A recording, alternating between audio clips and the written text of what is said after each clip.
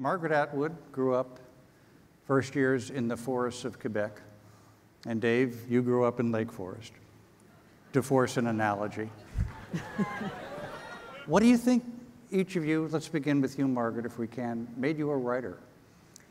Well, um, there isn't much to do when you're uh, living in the woods with no electricity and uh, no school, no uh, theater, no um, library. Uh, so basically, it's reading, writing, drawing, and that's only when it's raining. So I think that's what, you know, faute de mieux, there wasn't anything else to do, so I became a writer. Did you write to, to engage yourself? Uh, well, what I wrote first was comic books because it was the uh, comic book age. And uh, that's how I taught myself to read because nobody would read me the funnies. Do you remember the funnies? Okay, they used to be the, on the weekend. Yeah. And of course, we didn't get a newspaper much. But when you got one, when you got hold of one, there would be the funnies. So I wanted to learn to read those funnies, and that's why I did it. And then I wanted to draw them, and I've continued to draw them. Um, I've, I've lately been the collaborator on a series called Angel Catbird, which I wrote. My drawing wasn't good enough to draw an anatomically correct flying uh, catbird human. So I have a I don't think anybody's drawing would Oh, be no. that, yeah. Johnny Christmas is the name of the guy who can draw that. And he is my illustrator. But at heart, it's a bird conservation project. You're giving me the fish eye. No, Yes, and neither is it a bird eye, no. Okay, so, so ask yourself this question. We know that the four um, major foes of, of birds are glass window collisions, uh, habitat destruction, toxins, and um, cats. and cats I'm sorry for that. Yeah, I know, and this is the problem, you see, because people tiptoed around this. It's not good to say to cat owners, your cat is a dangerous predator and you must drown it in the toilet because you won't get, you won't get any results that way. But if you Margaret, create, it's none of my business, but I, I just wouldn't get on cat owners no, no, this no, no, forum, no, no, okay? no. This is the point. Yeah. You can't do that. But if you create Yeah. a lovable, flying, part cat, part bird superhero that understands both sides of the problem, then you can get traction. Okay, no more fish eyes. Now I get it. It's a very understanding cat, yeah. Um, Dave, you grew up in Lake Forest where there, there might be a few more diversions than what Margaret described in her childhood. Uh, sure. No, I've Yeah. been there. But Oh, yeah.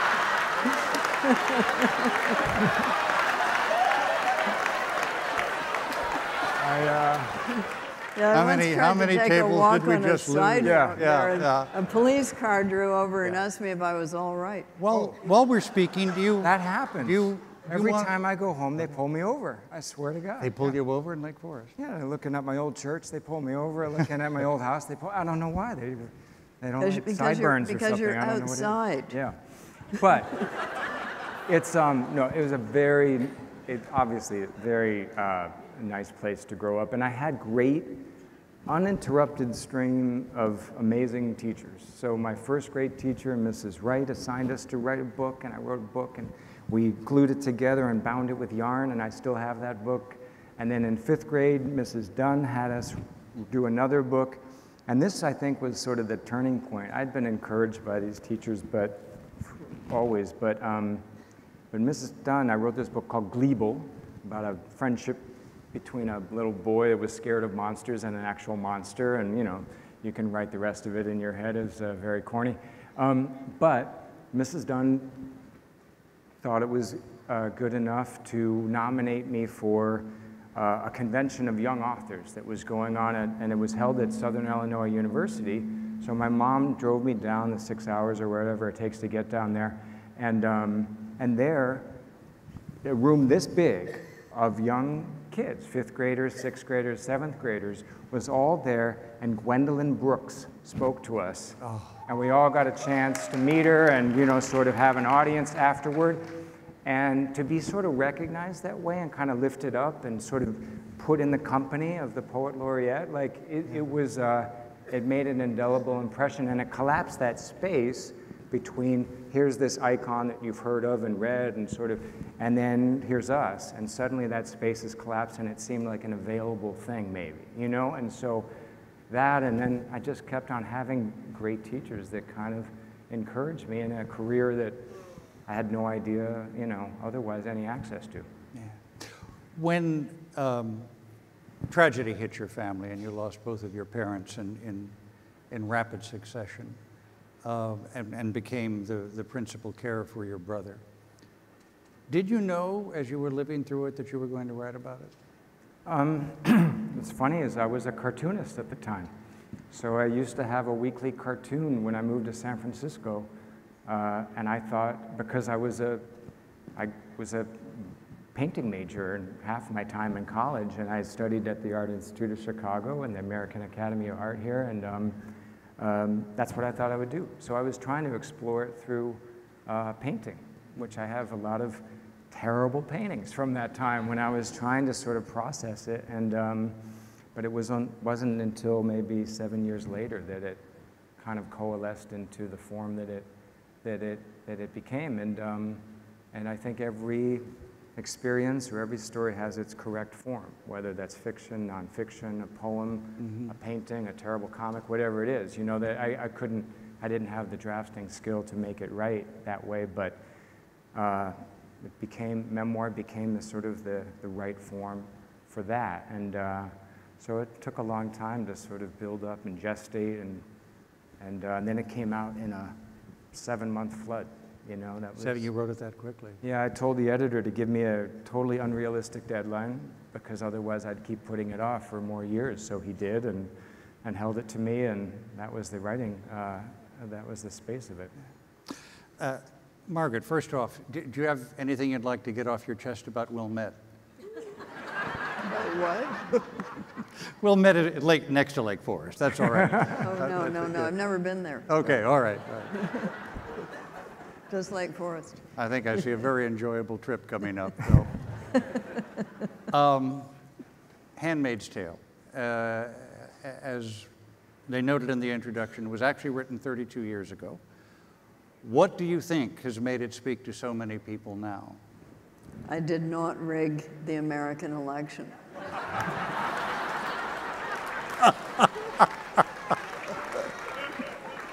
All right, I'll, I'll cross that possibility off the list It's, then. it's not my fault. um, let us just say that the um, possibility, the plausibility has become greater rather than less. And uh, it has become greater within the United States, and it has also become greater in the eyes of the beholders of the United States. Because when I first published that book, people in Europe didn't want to believe it. You know, the Cold War was still on. I actually started writing that book in West Berlin with the wall still encircling it. And uh, the United States was a beacon of freedom and uh, openness and anti-totalitarianism. It was the it was the opposite um, of what people in Cold War countries uh, were living under. And there was a film made of, of this book in 1989-90, and we and we launched it in the two Berlins. It was just when the wall was coming down. Um, so I bought several pieces of it. It was more expensive for colored. I think people went out at night and colored more of it and sold pieces of the wall. So I've got a couple of pieces of the Berlin Wall. Um, and we launched it first in West Berlin, and the conversation was all about the direction and the aesthetics and the acting and the kinds of things people talk about around films. Uh, and then we took it over to East Berlin, and it was the first time since um, before Hitler, uh, before the Second World War, that, that they had had this kind of double launch. And the reaction there was quite different. First of all, people were very silent. And they looked at it and they looked at it, and afterwards they said, This was our life. And they didn't mean the outfits, they meant the fact that you couldn't talk to people, you, uh, you couldn't talk openly to people, and you didn't know who to trust. So that sense of oppression, I don't know whether you saw that film, The Lives of Others, about East Germany. That's really what it felt like. Um, when I was living in West Berlin, I went across to the east, and I also went to Czechoslovakia and Poland at that time. And that was the atmosphere. Um, and that was why people there didn't want to believe that anything like that could ever happen in the United States. But now their view has, has changed. When you wrote the book over 30 years ago, was it as some kind of warning? Did you see something that you wanted to call attention to? Well, I have a clippings file from that time. And I was clipping things out of newspapers and magazines and putting them in my clippings file. And I did, of course, a lot of research. Some of it was historical, some of it was contemporary. But you can go back and read clippings from newspapers in which people were saying pretty much what they would like to do if they could get the power to do it. Mm-hmm. And you were seeing some of those impulses being played out um, today in various states in the United States, rolling back. There's some kind of idea that, that things were better when? When were they better? Who were they better for? You always have to wonder that. Um, but, but people were already talking about it in the 1980s. Number one. Number two, every country has a, has a sort of foundational structure to it. Um, so the um, USSR's uh, secret police came from the Tsar's secret police. You know, it was a continuation of the same thing, except more. Um, China has had, has had for many years a very extensive bureaucracy which simply gets replicated from one regime to, to the other. Mm-hmm. What did the United States have as its foundation in the 17th century? It wasn't a religiously pluralistic democracy. It was a 17th century Puritan theocracy. So, contrary to what you may have been told in school, I get, I get to say it because they were my ancestors. They were some of those Quaker hanging yeah. um, Puritans. Dave, I, let me. I want to ask you about your novel, *The Circle*, which I um, admire a lot, and a phrase that has stayed with me over the years: "Privacy is theft." Yeah, I. Um, this is something we're beginning to grapple with now. Well, I, you know, I've, I've been in California, uh, in San Francisco for 25 years now. I graduated from Illinois in Champaign-Urbana, and um, all right, ILL. There you go. Um, uh, and then a, a, few weeks later, um, uh, we, my brother and I moved to Berkeley, and um, and I've been out there since, and uh, in San Francisco, and um, I saw, you know, the birth of the internet, you know, start in its most egalitarian, democratizing, uh, utopian ideals, you know, shared office space with Wired magazine when they launched and all that. And, you know, you, you heard the most sort of, uh, I think, pure theory about it, sort of all the best uh, intentions and the best possible outcomes. And then over the last 25 years, it's, it's changed quite a bit, you know, not only become monetized and corporatized and the concentration, concentration of power and and wealth has been unprecedented. And, um, mm-hmm. But also this idea that not only are we invited to share, which is fine, share your pictures or whatever, but we are uh, required maybe uh, to share. Our, uh, any sharing is held suspect. Like, why would you not mm-hmm. share? What A, what do you have to hide? And B, why would you deprive humanity of what you know? You know, and so um, I thought because you see it quite a bit. Like, well, we sure would love to see those photos you took in Saudi Arabia. Wouldn't the world benefit from that? And where were you when? And why don't you share your purchasing history? Because wouldn't that be interesting to your friends and others? And um, so it sort of has this creeping uh, quality that uh, there really is no limit to it because you can't put that genie back in the bottle. The lines of what is private keep being moved back. And every time we you do try to put a little bit of a firewall between it, there's a question like, why, what, what are you hiding? And, and couldn't you, by giving up all of your you know, DNA and medical inf information, wouldn't that help humanity if we could aggregate all of that and see uh, you know, uh, pathologies and, and such from, from all of that aggregated medical data? So I think that we are heading, hurtling without speed bumps really toward a, a, place where privacy is not valued uh, so much. I think that it's, um, it's very hard to go backward, but I think that there are steps every so often. I think some of the companies in Silicon Valley are making efforts, but I think that as a nation, as a world, we have to set boundaries. We have to come up with a, guidelines for uh, digital ethics, what's right, what's not, what do we think as a, you know, is, is where we want to be and where are we going to pr protect that zone of privacy and, and self, you know, how are we going to be intellectually free unless we do have that private zone, you know. But um, but anyway, that's uh, that's one aspect of it. But the election part, I didn't see coming. I thought, you know, I. Uh, I thought that social media could have some very dangerous consequences with democracy and, and, the privatization of voting and things like that, but I didn't see this part coming with somehow Russians colluding with, you know, uh, uh, Jared Kushner. And uh, I'm just saying, if that were to be proven, um, to somehow uh, send misinformation through people's social media feeds. It's beyond my, it's beyond my imagining. I, I Did I just get political? I'm very sorry about right. that. We um, this is Chicago. Don't yeah. worry. Um, you know what? The last time I was here was at President Obama's last speech, right around here at UIC, and uh, so it's very uh, strange to be back. Uh, it was less than a year ago can you imagine? Less than a year ago, our yeah. president was President Obama. It seems like what, centuries, 150 years, uh, whatever, I don't know, but everything. Sorry. That's Back right. to you. Take, take a deep breath while I ask a question. I, I don't think you're on Twitter. No, I have I not. Couldn't find I have you. not tweeted. But you're very active on Twitter. Yes, yes, it was, an, um, it was an accident.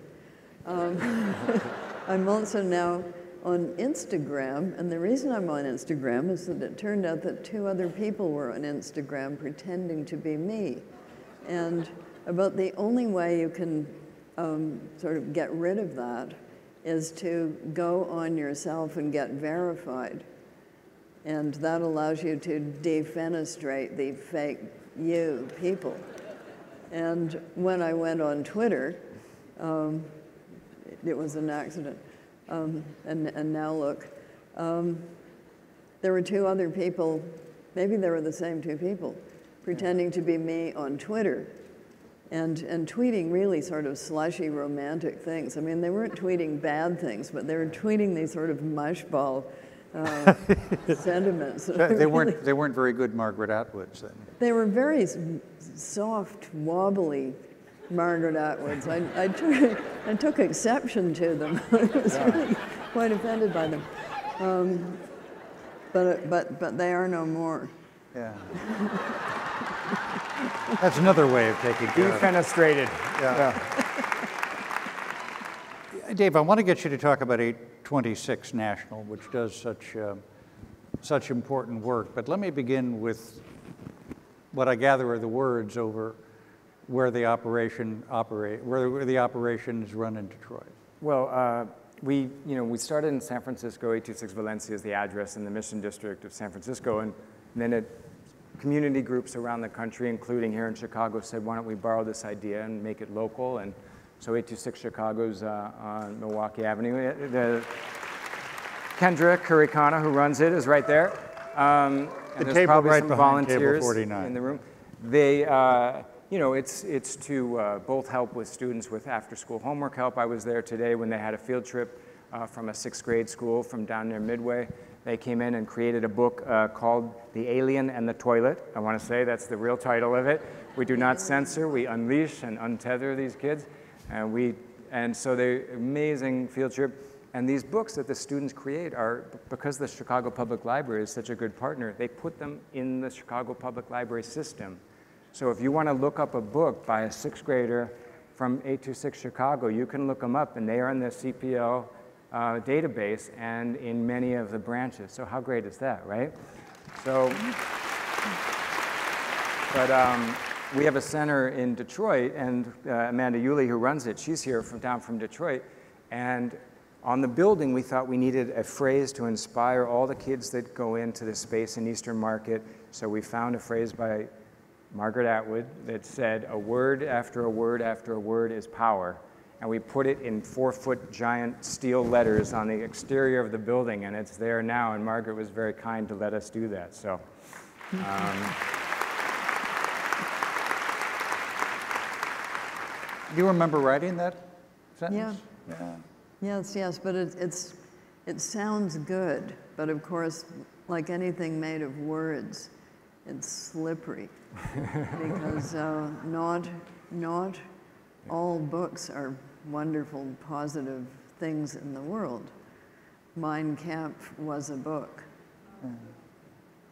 So word after word after word is power, and therefore you should think about what sorts of words you're putting out there.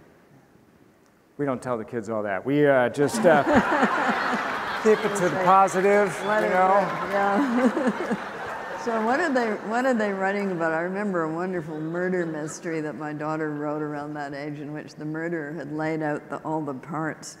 You know, all the arms were in a sort of a line, and the, it was very tidy. We don't tell them that either. So uh, your invitation to 826 Michigan it will be delayed a bit. We'll have to talk about parameters and uh, is so there what are they what are they writing about?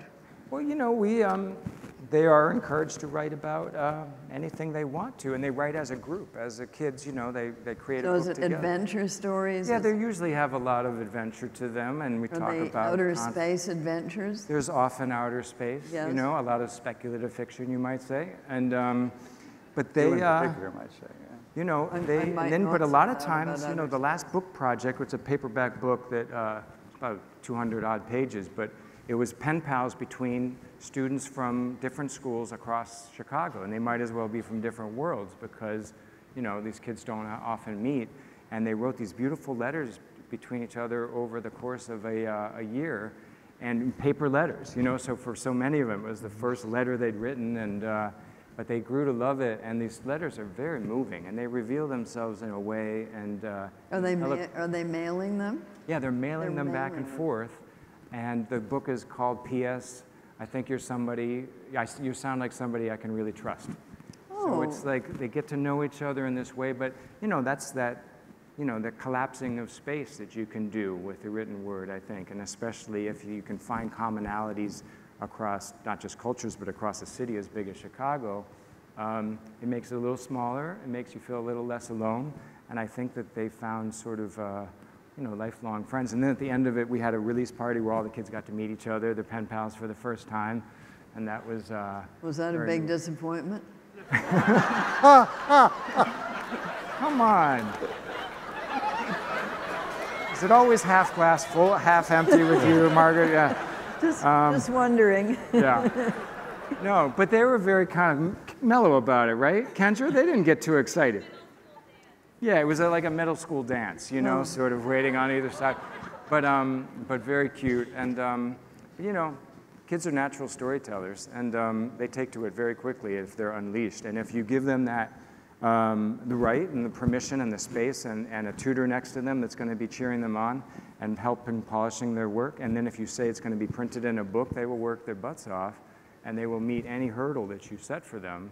And um, so at the high school level, the work they're doing is extraordinary because we hold them to professional standards. We're like, it's going to be in a book. You're going to be copyrighted. You're going to be proof. It's going to be 10 drafts, and you're going to get there. And when, when, and once you reach that incredibly high new threshold of work, you can't go back. You're a writer, you know. So um, these kids are published authors, Uh, it was a kid that came to our fundraiser last night, Esperanza uh, Rivera, who's been published like 12 times or something. She's 14, you know? So, um, but giving them that, that permission and then amplifying and honoring their work in a professional product like that that'll be on a shelf like that forever, it's powerful.